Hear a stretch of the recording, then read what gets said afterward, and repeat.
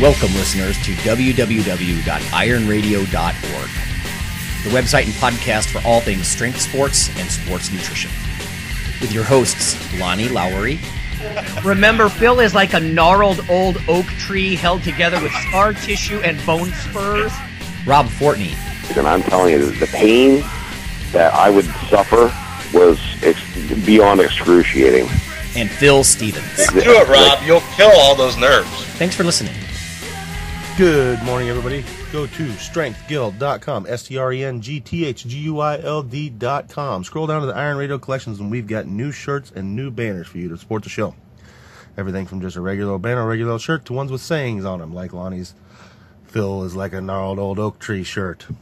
And some news for you we're going to have some contests for people who own these shirts and things. So if you support the show, we'll let you more on that later. So if you get in on these early, you can be one of the first people to win some prizes. So thank you very much. Go check out the site, strengthguild.com. Scroll down to Iron Radio Collections and support the show. Welcome, Iron Radio listeners. This is Lonnie Lowery. I'm an exercise physiology and nutrition professor of about 20 years, and I'm a former competitive bodybuilder. And this is Phil Stevens, strength coach, powerlifter, Highland Games athlete, and I'm currently 6,000 swings into Dan John's 10,000 swing challenge. So um, I'm on I'm on the downslope. So sixty percent of the way there. I can Yep. do math. uh, was Dr. Mike T. Nelson, creator of the Flex Diet Cert, faculty member of the Carrick Institute and other places, and I have a large freezer in my garage now full of water to jump into in the morning. So it's been fun. Oh, hmm. Mm.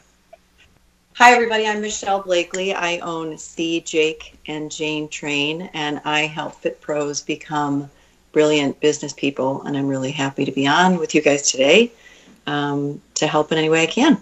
Perfect. Everyone, we thought Michelle would be a, a good guest because of her financial expertise and working with coaches and trainers and that sort of thing. I mean, obviously, when we had Dan on, we, you know, I talk about Dan like he's my brother or something, but you know, we had Dan and he's just sort of sharing a bunch of stuff about how you can train at home. Well, what about making a living, you know, virtually and that sort of thing? I thought we could sort of address that.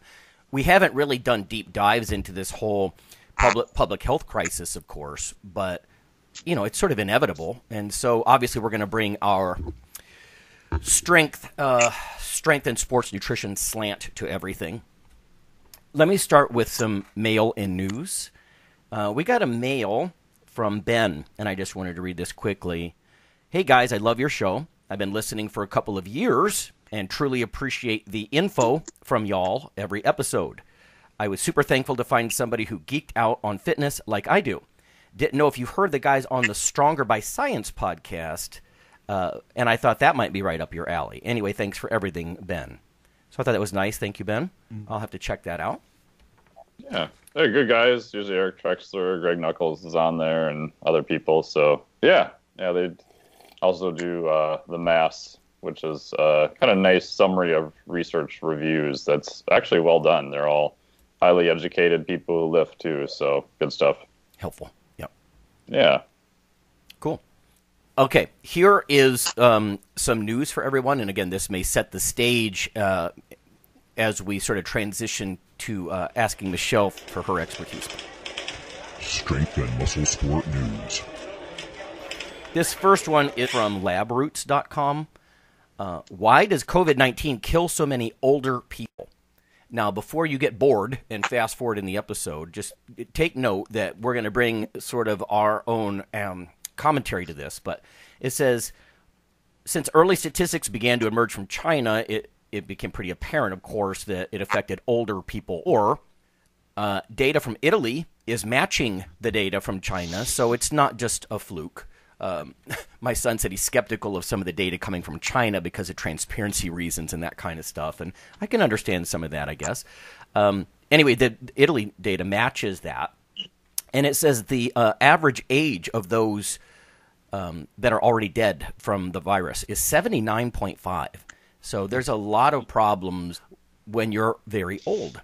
It says, according to Sean Leng, a professor of medicine at Johns Hopkins, uh, studies over the years have shown that in most people, their immune function is pretty okay in their 60s and even in their 70s.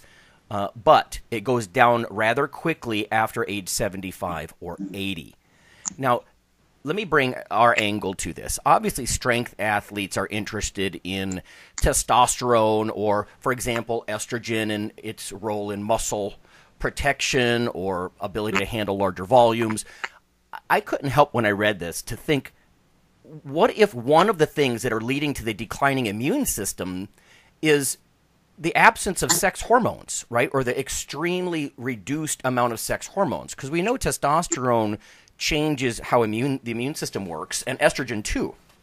So, in fact, when we talked about gender differences last time, there was some evidence from animal studies that estrogen helps protect people from the COVID 19 virus because mm. women are much less likely to get uh, as sick uh, as men. So I couldn't help but think maybe there's a, a thing here about the decline in sex hormones in very old people. Um, it says as the number of white blood cells available to find and eradicate infections declines with age, older people are at a higher risk of having a dangerous immune response called a cytokine storm. Uh, although cytokines are proteins that signal the body to better fight infection, during a storm, the body, of course, makes an excess, which causes severe inflammation. And we know that, of course, respiratory failure is one of the things that actually kills people, and they need the ventilators and everything. Um, now, my again with the sports nutrition thinking I, mentioned this earlier but this makes me glad i feel like my tissues are pretty saturated with omega-3 fats because those have a, a cytokine calming effect uh, it's one of the reasons that they help with arthritis patients and that sort of thing so uh, you know i'm not saying everybody go take your omega-3s and you'll be protected but you know it might actually reduce a little bit of the cytokine response like it does in other conditions totally speculating anyway um, a weaker immune system also means higher susceptibility to chronic diseases such as diabetes, heart conditions, and cancer. So those further compound the issue, right? I mean, one of the underlying problems with diabetes, you might think, well, what does diabetes have to do? Because so many people have it. What does it have to do with poor response to the virus? But diabetes, all that blood sugar, and that inf- that sort of inflammatory condition you're always in, that makes it harder for your body to fight infections. So there's a lot of things going on here. Here are some stats from Italy. Uh, 48.5% of people who died had three or more underlying conditions like that. Uh, 25% had at least one underlying condition, and get this, just 0.8, 0.8 of deaths had no underlying illness. So I think that's very interesting. If you're younger, you're more fit. Uh, and this brings me to my other topic here there is something called the leukocytosis of exercise, right? Mike and I have talked about this before, but uh, when you exercise, you flush a lot of the white blood cells, the neutrophils, and other things out of your pulmonary vasculature and into your body. And that's really helpful. Regular exercise, so long as you're not overtraining your butt off, um, has a very helpful effect on immune function. So if you guys are stuck at home, and I know uh, most people are, I don't know, do your kettlebell swings like Phil, right? Get that heart rate up, flush your lungs, get that leukocytosis of exercise. Not only will it strengthen your cardiopulmonary system, but it's actually going to help your immune system. So, just some thoughts, you know, from sort of the nutrition and XFIZ perspective. Uh, Mike, any thoughts from you about any of this stuff? Yeah, I agree. Um, my buddy Dr. Doug, I think, posted something about uh, omega threes, looking at a preliminary study, and I don't remember if it was related to COVID 19 or not, but uh, he does a lot of omega 3 uh, testing here. What it says is there's a meta analysis that looked at the outcomes of getting uh, fish oil with uh, sepsis uh, related to similar lung pathology as COVID infection.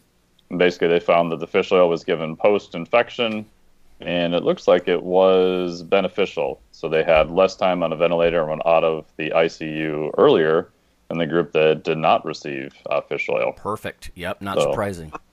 Yeah. So again, not obviously a super randomized controlled trial on what we're looking at, but you know some pretty interesting data that shows it you know should be beneficial and like we've talked about many times before, there's not much of a downside to, to fish oil and essential fats at all, really. Right on. Yep. Michelle, what about you? Exercise and nutrition. Are you glad you do certain things right now, uh, given the you know crisis? Oh my gosh.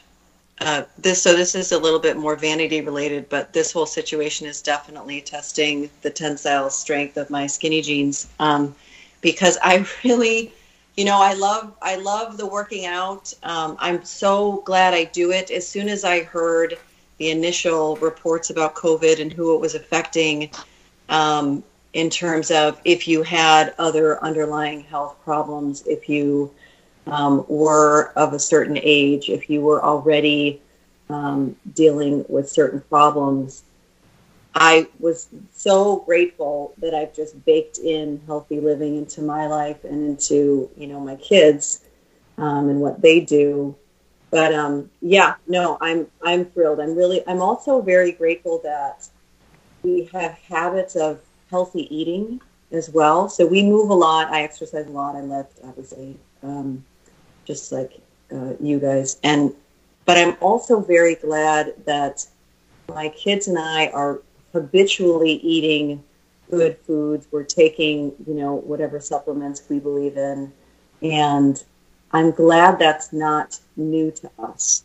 Um, yeah. With the new, right? That if you are already at a disadvantage, this disease is um, more threatening to right. you.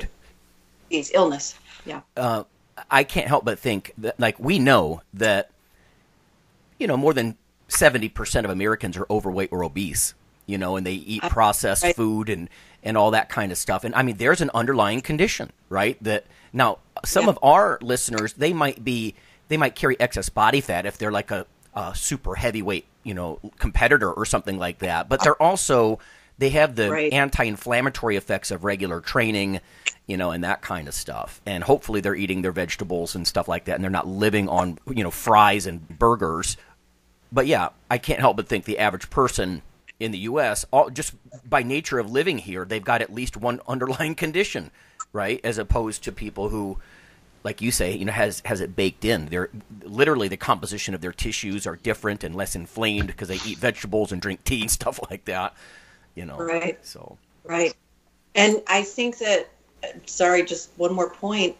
You know, when I was walking through the grocery store before this got super serious right before we started most of us started taking this seriously everybody was stocking up on things right and this one woman in the aisle said to a stranger she said covid-19 is going to kill us we're all going to kill ourselves by overeating which i thought was you know funny and had some truth to it right. but when you looked at the carts everybody was stocking up on all the processed stuff and to some degree i get it because okay that's going to have a longer shelf life but that's the wrong thing to be eating, right? When you're trying to keep your immune system as healthy and prepared as possible. So it's almost like the odds are stacked against a lot of us if you weren't already on board with, you know, habitual healthy living on a daily basis in small, powerful ways.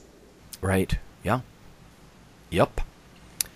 Uh, let me go to one more uh, piece of news that will set the stage even more, especially when we talk about coaches and trainers and how they can survive here.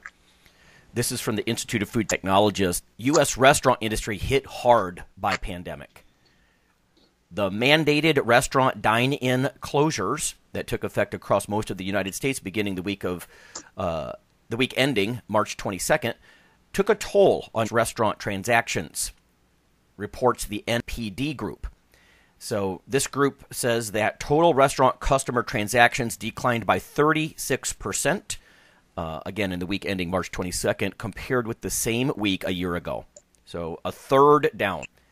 Uh, chain specific transactions and share trends for 70 quick service, fast casual, mid scale, and casual dining chains were included.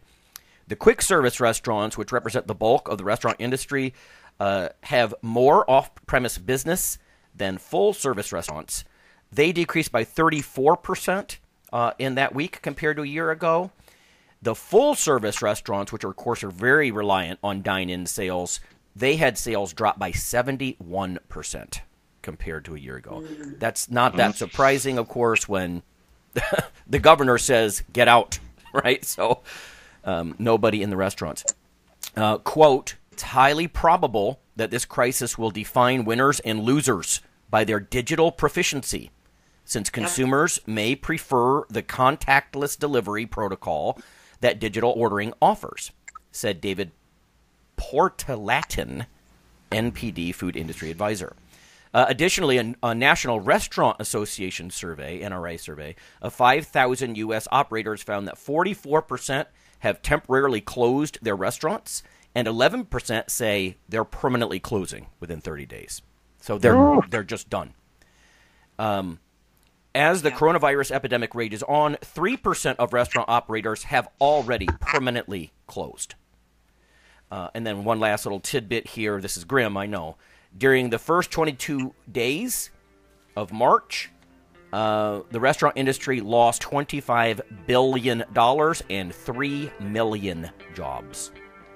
So, obviously, the food industry, I'm, I'm, being a nutritionist, I'm interested in this stuff, and they are getting hammered. And I've got to think that, you know, again, people that are heavily reliant on face to face and they don't have much digital proficiency, as they point out here, it could actually separate the winners from the losers. Um, yeah. Yeah. Absolutely. Um, in fact, let's let's go to break early, and when we come back, let's just talk about that. We're going to talk about uh, people who are trainers and coaches, and if they're if they're face to face people, what are they doing? So, uh, we'll be back.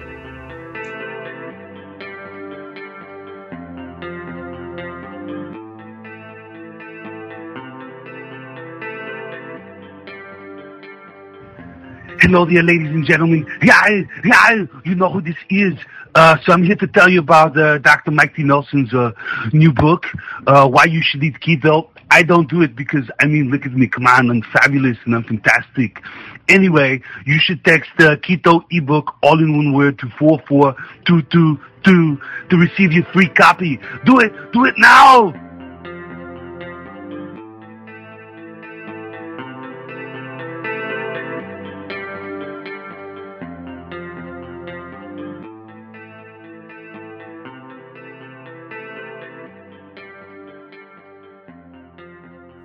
Hey, listeners, this is Dr. Lonnie Lowery. If you've ever had anyone critique you uh, on your protein intake as part of your weightlifting lifestyle, oh, you poor meathead, all that extra protein is going to rot your kidneys or weaken your bones or dehydrate you or give you gout or who knows what. Uh, there is a book available. You could simply Google CRC Press and Lowery. And what I've done is reach out to experts all over the world and create a book, a single compendium that you can hold up and say, This is why I consume extra protein. This can be very valuable when you're um, being quote unquote educated uh, by various professionals on the topic. Uh, there's enormous amount of literature in this book on the safety, uh, the effectiveness, how protein works in cells, the history of protein and weight trainers, uh, much more.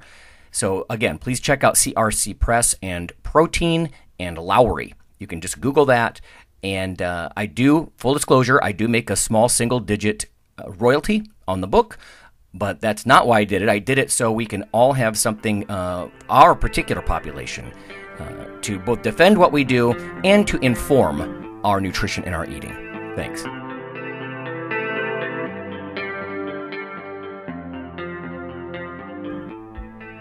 Iron Radio is, of course, primarily a podcast. But over the years, there have been technical glitches calling for backup streaming and listeners who wanted the convenience of other sources of audio content. Toward this end, Iron Radio is now simulcast and backed up on YouTube.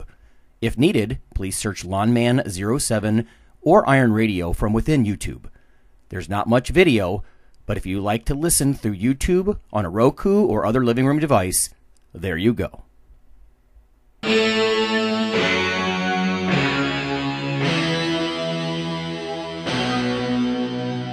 Like your weekly fix of Iron Radio?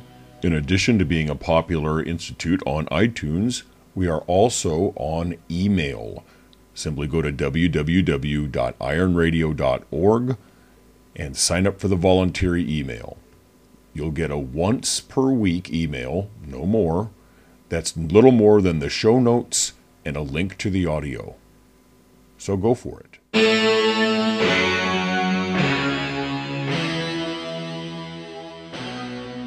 All right, folks, we're back. It's Mike and Phil and Lonnie, and we have Michelle Blakely with us to try to help with some of this grim stuff that we were just talking about before the break. Um, Michelle, do you agree with that uh, that um, statement? I'm guessing you probably do about how digital proficiency is going to help decide winners and losers in who survives business wise. I absolutely agree with that, and to always keep a thread of hope there. Right, I'm someone who always believes there are solutions. There's always an ability to solve a problem. If you're not digitally proficient now, you can learn quickly if you're open. My my biggest concerns are for the fitness professionals and you know in person uh, strength or powerlifting or coaching people that are not tech savvy or proficient and get stuck or frozen and don't realize they have the capacity to learn these tools and learn them quite quickly so that they can get on board and not miss the boat. Absolutely. Yeah. Yeah. Um, Phil, I know you're operating like the library of muscle, checking out equipment and and, and you're doing the um, you know, like the kettlebell challenge stuff. Are you doing videos of all that? What are you doing digitally? Well, aside from just you know, I, I program them, and basically the only thing I do digitally is a bounce back and forth between clients digitally. So they send me, I send them. Like, no, do it this way, uh, type of thing. So mm-hmm. looking at videos and doing, uh, you know, checking form and things like that. Oh, okay. Is where we're at. So. Our, but that's pretty that's pretty usual for me. I've done that. nothing's changed. so I'm just doing it more. I'm doing it more now than I was. Oh, before. okay, right, yeah. So, uh, yeah. Um, do you find that the your clients are they easily just naturally because of phones and guess I, and whatnot? I guess it wouldn't be a problem. They can upload the videos and you can actually see them well enough to give them tips oh, and yeah. stuff like that. I yeah, mean, they they know you know what angles I want and things like that. And if they do one wrong, I just say, hey, do that again and shoot it again, um, okay. type of thing. Yeah. But uh, no, the only thing I'm running into right now is just people being bored of not having the community. Yeah. So we all mm-hmm. talk on Facebook and we have groups and where we can chat. But still, when you're when you're used to training in my facility, where which Lonnie, you've been there, yep. you know, it's an atmosphere. Oh yeah. And now you're stuck at home by yourself. You know, it's it's different. It's just never going to be the same. But uh, yes. So, but we try and keep it up as best as we can, and we all support each other. You know, like I said, via online groups and chats and you know group text messages like, "Hey, what are you doing? Hey, well, I do this." You know, we all kind of stay in touch that way. But right on. That's, yeah, that's the best we can do right now. So. Well, and I mean, we got Iron Radio. I mean, that's something yeah, exactly. community wise. You know. Um, Phil, have you, or even you know Lonnie or Mike? Phil, have you tried um, uh, Zoom meeting? I use that for other things, not with my clients, but yeah. So, well, one thing that's going on. So, um, I came out kind of with this first first wave for all of my so my clients for Iron Radio listeners are you know personal trainers or coaches or studio owners or small business owners right? So those are those are my people. So my clients I pushed hard right away. No this is not a two week staycation. Mm-hmm. you have got to transition your whole community virtually now. And I gave them you know suggestions and things. And many of them are very glad they did. Right now the the the data we're getting is 80 to 100% conversion that mm-hmm. they brought they brought them over. But um, one of the things I'm working on for kind of the second wave is exactly what you're saying, Phil. How can we continue and foster that connection and sense of community because that's so much of what they love about coming into your gym and working with you mm-hmm. and all that. And it's it sounds silly, but I've done it now with a couple different groups, and I'm really endorsing it and recommending it that you do like um, a virtual cocktail hour. Maybe you wouldn't do cocktails, but you know, uh. Some kind of virtual, you know, seven to seven forty-five, where everybody learns how to do a gallery view, and you can just you can just talk and see each other's faces and laugh, and yeah. you know, that might be something that having yeah. strong community initially, your people might really love and get on board with. Yeah because it's different, right? It's different than text threads are great and Facebook group posting is great. All those are great, but this is more. This is real time, yeah. and you're getting to see one another's faces, which is very comforting. Mm-hmm. Yeah, I could see how that could that motivate you. Yeah. yeah. get an extra lift. Like if, if Phil, people from your your crew, like somebody's like, I'm gonna try a some odd new PR. You know, maybe it's yeah. not just a one rep max kind of thing, but you got yeah. a couple people like on on your computer screen being like, "Come on, wuss!" You know. Oh, love it, love it. Yeah. Not the worst part, but love it. yeah, that would be great. You could do a whole thing. You could have it be. Um, you know, your you guys could come up with a cooler name for it, but you know, your cheering section or you know, let us know when you're going to go for your next PR and we'll see how many people from the community can jump off of work and, you know, get on for that 10 minutes and oh, that'd be brilliant. You can auto record it. Yeah. Yep. Yep. Now, Mike, you're you're so digital to begin with. Uh, yeah. Do you have tips for people if someone? I mean, a lot of your clients are coaches and trainers. Is that correct? I mean, what are you telling them? Yeah, I mean, most of my clients are probably 60, 70% are other trainers and coaches. Um, a lot of them are either hybrid or kind of work online. You know, some of them work for other companies too. So their stuff hasn't changed a whole lot. I mean, the people that were doing kind of the hybrid thing, they just converted them over, you know, now digitally for the most part, I guess. Um, so for what I've been doing, it hasn't changed a lot per se from the outside of the just the mechanics because like I do all their training, I do their nutrition, I do their lifestyle, HRV, sleep, you know, all that kind of stuff. You know, like we talked about last time, the biggest thing that's changed is just reworking programs and then people were able to kind of scavenge up a couple dumbbells from, you know, somewhere else. So you're kind of rewriting stuff again, which is totally fine.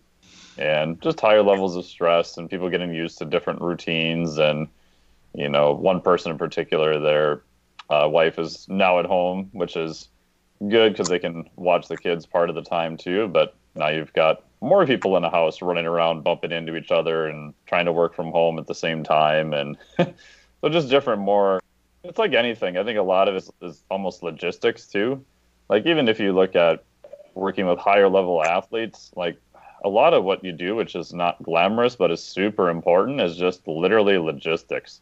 Like, where are you going? How do you get there? How, what kind of food do you have when you get there? How do you get the food? Do you have a car? You know, like the the stuff people don't think about a lot of times. Now we're kind of running all of those things too. So, yeah, yep. And if I could just jump on that for a second, and I see that's where the opportunities are for anyone that is using training or coaching as part of their livelihood that I know a lot of people are, you know, I see a wide range of, you know, from paranoia to denial about. Oh, yeah.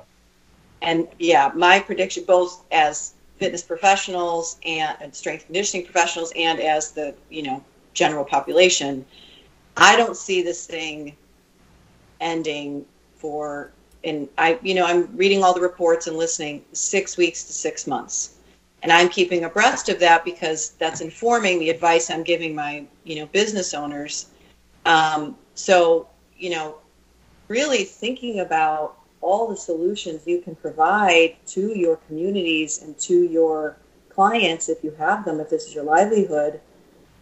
One is very important for both of you, but also is a huge opportunity to ethically and powerfully help some people. Like if you just think about what we know about nutrition, about a healthy body, about the benefits of exercise in terms of stress relief and um, you know better sleep and all those things, we are what many people need right now. And I completely agree with you, Mike some of those elements are how to fit it in and how to navigate the new normal. And so, as a message of hope, I think that we in the fitness and strength space should remember we have knowledge that would greatly benefit so many people that are, you know, hurting and really trying to figure out their new normal. Yeah. Yeah, the the comment about people underfoot and different circumstances at home. I mean, not only do you not have the you know the distant clang of iron in the background and the heavy metal blasting throughout the whole building, you know, like I'm used to, but I, I'm downstairs squatting, and my cat. I feel something weird as I, I'm in. I'm in the hole, right? and it's my cat between my legs. I'm like, you have no fear. You, you have no fear, honey. Get out of here.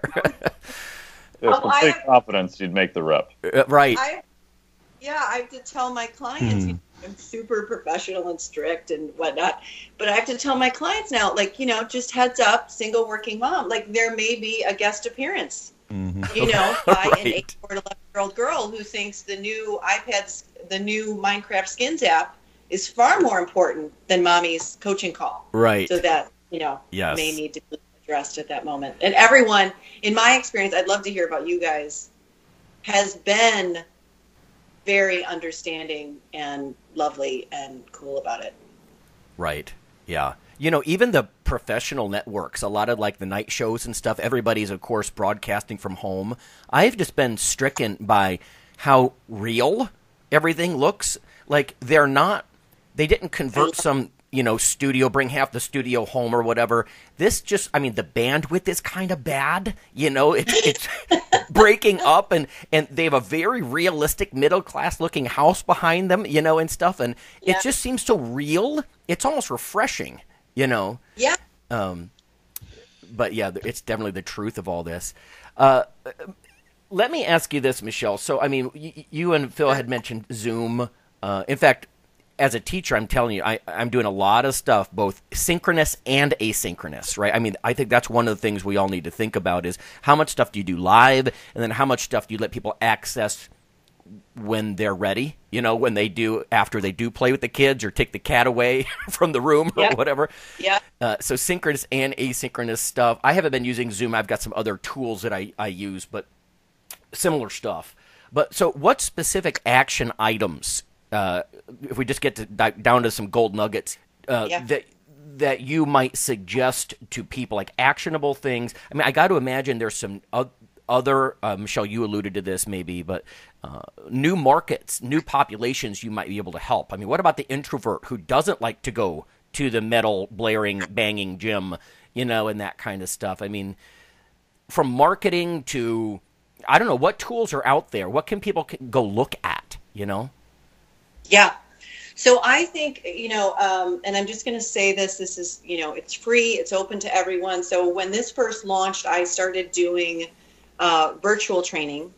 And I make the distinction between virtual training and online. Virtual is real time, in person, Skype, Zoom, Google Hangouts, FaceTime. Yep, right? synchronous. You're yep. in your cleared free 10 by 10 space, living room.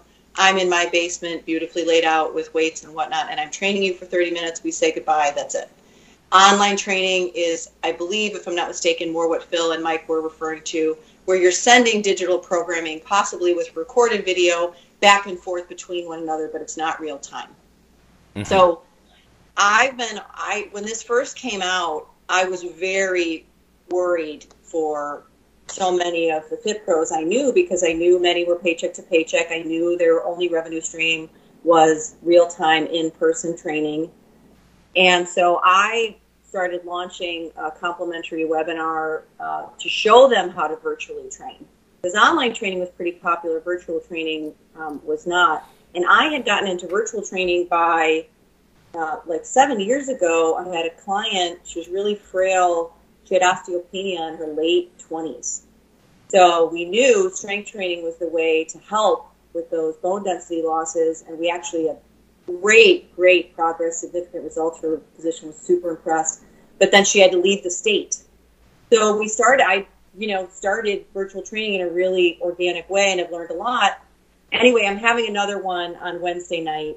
Lonnie, if anybody wants to join in, it's free. They can just learn the trip, the tips. But you were asking were what nuggets, right? What should they do? So of your existing community right now, if you train or coach clients, my recommendation is to immediately move to transition them over. Um, some of the industry leaders I'm listening to, the better you keep your connection, the better you keep communication with your people, with your communities, the more likely you are going to survive this. So I want that transition to be quick, but I want it to be ethical, professional, and thoughtful. So think through how you're going to do it. Join the webinar I'm going to have on Wednesday. I lay it all out. You know, you can have it. Happy to help.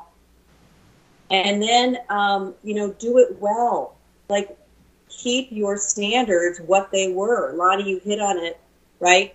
It's really refreshing that we're seeing our colleagues or leaders or what have you, you know, with less makeup and the you know mm-hmm. my IKEA picture frame in the background and you know everybody asks about and you know whatnot. Um, that's great, but that doesn't that should not translate to our standards as trainers. You know how we show up, how we're dressed, how we're prepared, um, our timeliness, things like that. Yeah. Um, and then I think they really you have to practice. I know this is it seems so uh, simple, but it's probably the best thing you can do for yourself.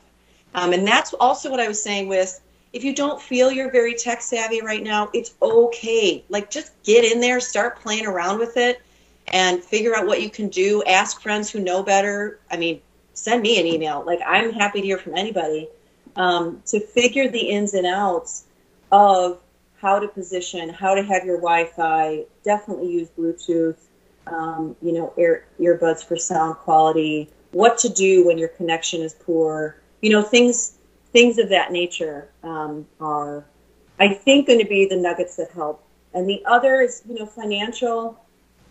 Definitely um, value your services, right? Extend that complimentary first time session because people aren't going to buy what they don't understand right? And even if that's, if you're doing something like, you know, Phil and Mike, if now you're transitioning to doing more online programming for your clients, if they've never seen it before, if they don't know what it is, you know, do some kind of extension where you let them see it and experience it before they buy it, because no one's going to buy anything they don't understand.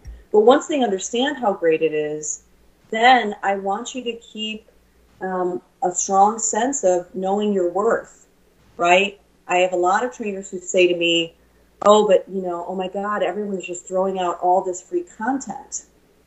Yes, you know, my kind of maybe flippant comment back to that is, but we had 125,000 pages of free workouts on Google before. Now we have 500,000 pages. Like, there was always free content before. The reason your people are going to transition into working with you virtually or online is because it's you. Yes. And you know their body. Phil alluded to this. He knows he can watch a client do a kettlebell swing that he's been training for five years over, you know, their laptop camera and see they're shifting their weight the wrong way and give them that cue because he knows their body already. So we have a huge advantage with the clients we already know in moving to things digitally because um, we know their tendencies and things like that. So th- those would be the nuggets. I mean, I've probably got a hundred more, but if I make myself stop talking, those are the those are the nuggets I would suggest right now. Yeah, it's a good point. Uh, we had, I God, it was ages ago, but um, Phil and Mike and I were talking about like uh, what line do you draw for between free and and not free. And I mean, the ethical way to do that, at least the way we've kind of done that, is we provide lots of news, facts, opinions, discussion. Yeah. But but yeah. but we don't, and we've all had this one million times. Everybody on this call. Hey, bro, can you put me on a diet and workout program? And it's like mm-hmm. now you're asking for individualized attention, which takes right. an enormous amount of assessment and programming. Yeah. So the answer to that is well, I'm gonna I'm gonna refer you to Phil because the answer from me is just no, and from them it might be okay. Let's let's start the assessment process, right? Because it's individualized, you know, kind of thing. Um, and that and that brings up a great great point. I definitely I have a whole, um, and we are we are side note we are selling something right now revenue rescue kit for fit pros.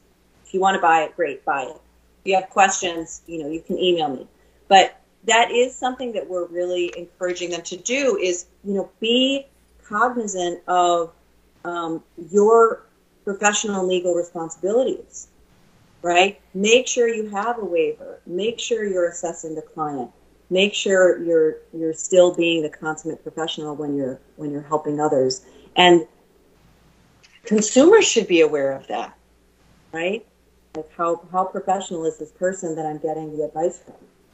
Yes, right. Yeah, the liability thing and the waivers and stuff, very important stuff, right? Especially because you're you're not physically there. Um, I, I think it's good advice to think about the individualized attention versus not because with everybody, well, so many people losing their jobs, right? Yeah. Uh, and not having the funds, uh, offering what you can free. Like that's why this podcast is sort of public radio format. You know, if people, right. we're going to do it regardless.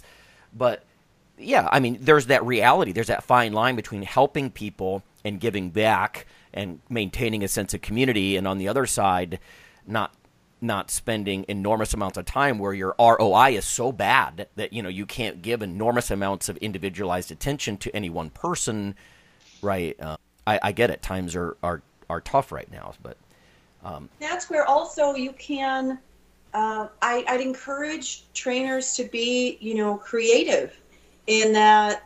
Well, where this is a new normal, right? And whether you think it's going to be, you know, quarantine status for six weeks or six months, six weeks is a long time. Like, what are people struggling with? How could you help? And, you know, are there ways you could do it that are very scalable that you could charge very little for? But that isn't an overextension of your boundaries or your time investment, but um, that a lot of your you know clients or community that are more hard hit could still afford and could still get you know your valuable advice and you could still maintain that connection. Yep. Can you give me an example and the listeners of what you mean by scalable? Do you mean like package type oh, things sure. where they can pick and no. choose or No, no. Uh, so what I mean by scale so I um, I used to think I was tech competent I'm very aware. I am tech savvy, savvy now, being thrown into this whole new world. Um, scalable uh, means that, uh, so let's say I write, I have, you know, immune boosting favorite recipes newsletter. And not only does it give them a video of me cooking it in my kitchen, but it shows them the grocery list items they need exactly, rough cost, and time it takes to cook and prep, right? Maybe I create seven newsletters like that, one that launches, you know, every three days. And it took me 15 hours to create it, right? But if I sell it for $7 to my, you know, 50 former Group X clients or my 50 former coaching families or what have you, right? That 50 times $7 is a lot of money. And there's no end to how many times I could repurpose it. Mm-hmm. So that's what I mean by scalable. It often falls into items that are digital.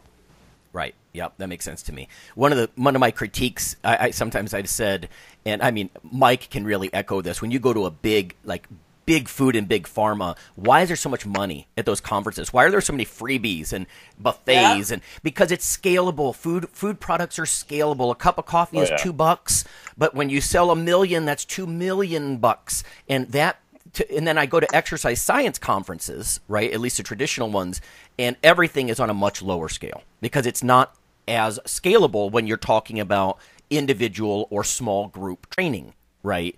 So it's almost like there's this, well, not almost, there's this um, new opportunity where you could create digital products that are more scalable because they are products and they're not real time, one on one in that kind of way. So, and my, and my advice there actually is I think the people that can figure out when it's appropriate and when it's not are the ones that are going to succeed. I also think the people that are going to marry the two together are the ones that are going to succeed. So if you can marry something scalable with that touch point, with that connection to you because that's what they love, that's going to take you further than um, something that, right, is is solely digital, in my opinion. And yeah. I also think we should only try to make uh, the right things scalable. Yeah. So yeah. things aren't. Right. Mm-hmm. I mean, my bias. That's why I did the uh, not shameless self promotion, but the the Flex Diet certification for nutrition and recovery for education of fitness professionals was trying to get better information out there, having a lot of expert interviews in there, and then so far to date, I've kind of done it in sort of limited release here and there because if anyone has any questions, I just want them to personally email me anything, you know, so they get interaction with me to make sure that the questions get answered. I can kind of maintain the quality of it because until I get enough people that have gone through it to answer their questions, I'm not sure if I want to have a huge forum with everybody and their brother chiming in on everything. but yeah. trying to, you know, they get access to the person who came up with it if they get questions or get stuck too. Yep, right on. What is that called again, Mike? Uh, it's the Flex Diet certification. Let me drill down a little bit here on the the marketing side. I mean, so I'm I'm pretty introverted, and I'm not having much of a problem staying home. to be honest, I mean, all week long I've been at the mic. Deli- I'm, I'm, you know, lectures, PowerPoint, and then here I'm podcasting. So I mean, you know, okay, but I got to think there are some marketing opportunities to reach the people that they don't have a lot of. Uh, like maybe it's maybe it is introversion, but maybe it's a, a lack of confidence or a, a skill set issue where they're not going to walk into a gym. They're kind of, you know, frightened and they could use some training wheels. Do you see marketing opportunities here? And if so, how do you market to these other people? I mean, given the fact that, you know, I, I'm I, assuming they're online. Are there tools out there, Mike? You you do use um, newsletters, right? Is that your main tool or or not main? Yeah, so the main tool I do is a newsletter. So I try to drive most people to that. I mean, a couple of quick reasons are I only want to talk to people that are kind of interested. So I want there to be a little bit of a barrier. Obviously, I do a lot of free stuff too that's just open to the public, but you know, you kind of have to find it and you have to put your email address in there in order to get more information. And then the other part is I can control all of the conversation and distribution so I don't have to rely on an algorithm from Facebook or YouTube yes, or right. my ad account on Facebook getting shut down, which happened because I sponsored an article I wrote about CBD and you oh. know all stuff that happens. Yeah. Uh, so that's my bias, and I view that similar to like you know podcasts and stuff as you know for the most part some of it's marketing, but you know ninety percent of it's all content based, and I spend a lot of time writing for it too. You know, so if you want free information that's good, hey, here you go. Here's your free information mm-hmm. and you'll have options, you know, to purchase stuff or to do other things from time to time. Um, but it's it's kind of like you were talking about how what's the line between free versus paid. So that gives me a way of, you know, the newsletter is more soft teaching and free.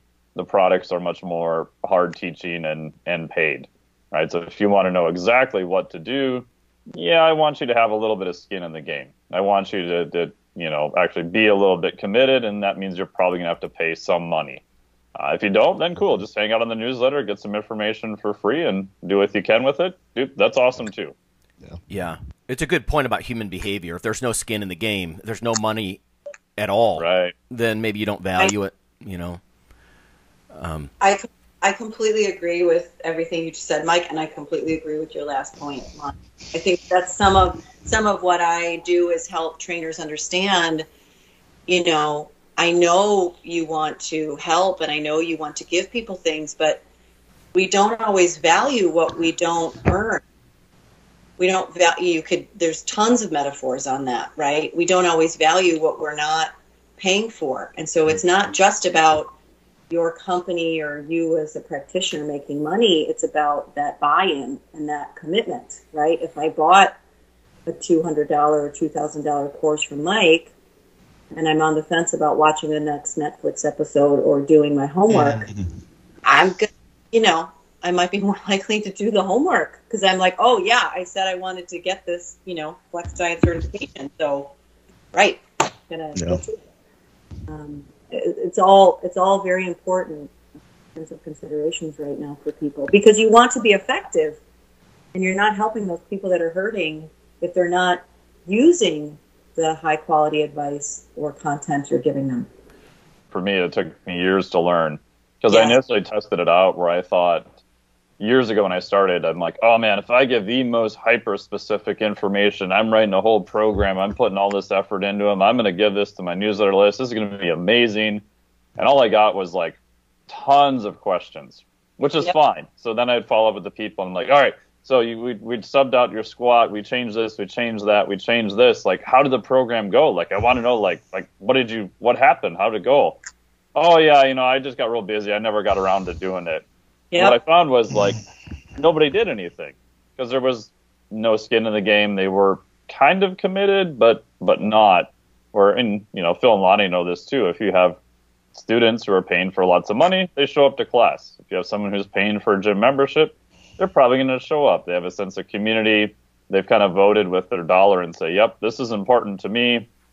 I'm going to do it," and then you know, follow through is much better. So once I realized that, it was like, oh, uh, differentiating this makes makes more sense. Yeah, you know, accountability. You could be accountable to your investment. Uh, and yeah. one of the things I like about, also about this idea of doing something live and synchronous is then you're socially accountable. I mean, there's different ways to make yes. make a client accountable. And I mean, what we do with the podcast is completely like in academics. We always talk about how do you deliver your class? Is it synchronous or asynchronous? And and um, the synchronous stuff might sound great, but you, you can overdo it, right? Because people are like, no, that's when I'm, I'm, um, you know, I got childcare issues, or that doesn't fit my schedule, or or whatever. Even even when they sign up for a class, like when we converted everything over to online, I do a lot of stuff podcast style because it's asynchronous. Even though I know that those kids right now are free in certain time blocks because I was yeah. teaching them live at that time, it's amazing that you don't get everybody show up in a live time block and yet doing some of that like like to Michelle's point having some balance of what's live and real time and synchronous that's a good idea from an accountability point of view too I can imagine that being helpful with a, a club environment like Phil's got you know like mm-hmm. it's you know I better show up because Phil and the other people are going to kick my ass if I don't log in right now I guess. Plus, there may be donuts. Yeah, there you go. Virtual donuts. Virtual donuts. Virtual donuts now. Get a 3D printer. We'll print them. Yeah. Quick question. Um, is so if we have the community is going pretty good, a lot of people have made kind of the transition to online or were online before, and let's just assume that that's all going pretty good as best that it can. Is there something with this particular time period that fitness professionals should be more, I guess, focused on since they they literally do have more time now? Because a lot of them were training people gym and they're probably running virtual sessions and they're doing online. So they're doing stuff but i'm guessing they probably have more time now than what they did in the past. Is there something they should be focused on for the next few weeks to a few months? Uh, absolutely. My so my clients that have transitioned and gotten you know their heads above water they've moved 80 to 100% of their clients over so that they're still delivering good services and they're still, you know, have the revenue streams coming in.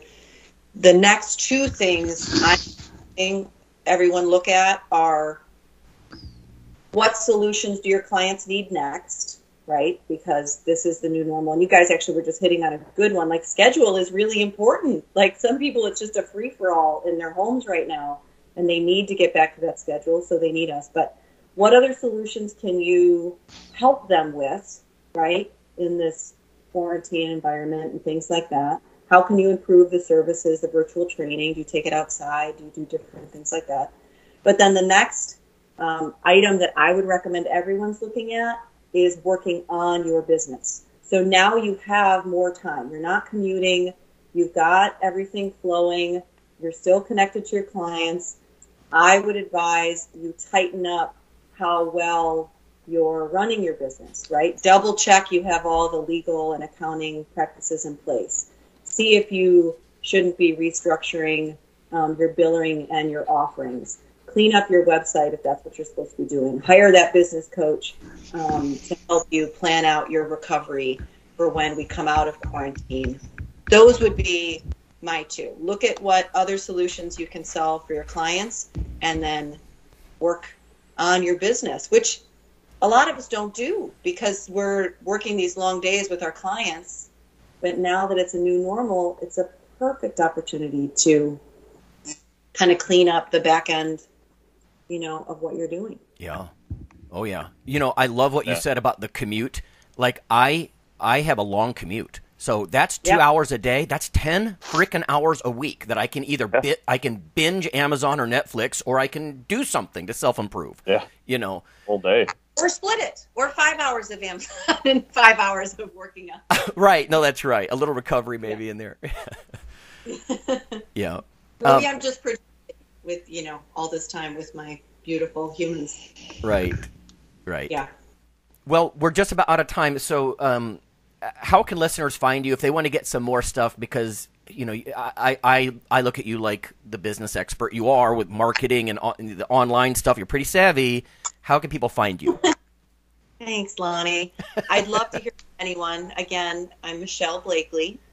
The company site is See Jake and Jane Train. So that's S E E J A K E A N D J A N E T R A I N dot com. See Jake and Jane Train.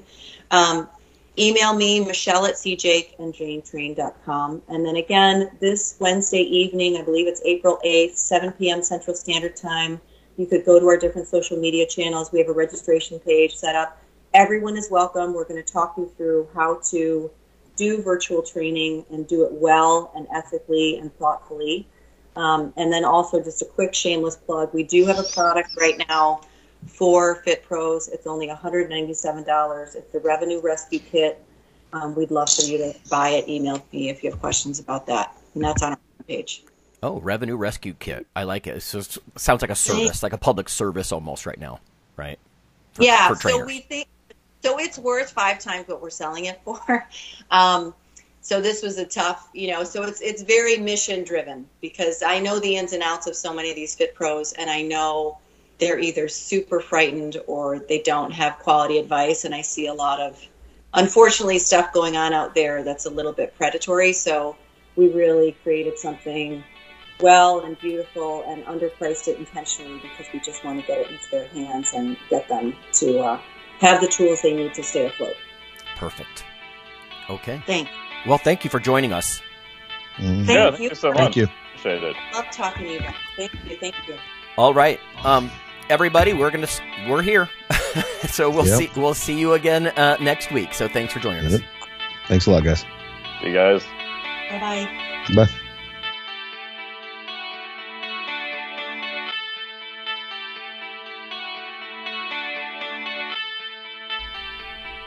Hey listeners, have you seen the store at ironradio.org? There are three halls in the store one for Phil, one for Fortress, and one for myself, Dr. Lowery, and they're thematic. So you can go into our Halls of Iron store and choose based on your goal. If you need something to learn or read or something nutritional, you can look in my store, uh, Lonnie's store. If you want something about injury prevention uh, or competition, then take a look at Phil's Hall of Iron. And if you want something about motivation or daily training, Fortress's Hall has what you're looking for. There are some fun, heroic descriptors uh, as you browse through the stores. We try to make it a little more fun than the average boring online store. And whether you're a novice lifter or someone more experienced, you can take heart that you're not wasting your time. The things that we put in each hall of iron are actually based on our own recommendations. Protein powders that we know to be good, uh, knee sleeves, wraps of some kind, things that Fortress uses in his own training. Uh, the stuff you, you see, you know is good. This way, you don't waste time. So check out the Iron Radio store at ironradio.org and um, let us know what you think on the forums. And certainly, you can request products, and we will uh, screen them before they go in. So thanks for listening.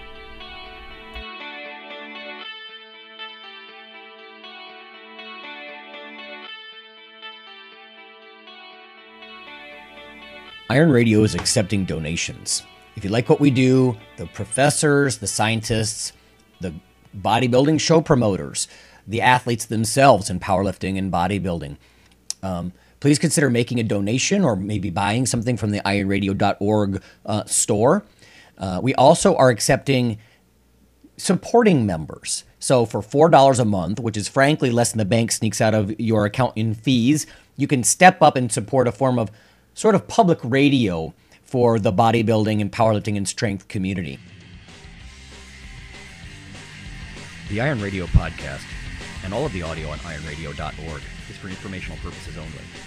If you're interested in starting a diet or exercise program, it's important to check with your physician. Also seek the help of registered dietitians, athletic trainers, and qualified exercise physiologists in order to make the progress that you need.